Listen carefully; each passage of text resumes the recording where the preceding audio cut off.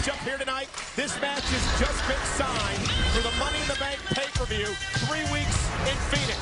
It is CM Punk versus Daniel Bryan for the WWE Championship. This is going to be a good one. Oh, you're not kidding. I cannot wait to see this championship battle. CM Punk and Go.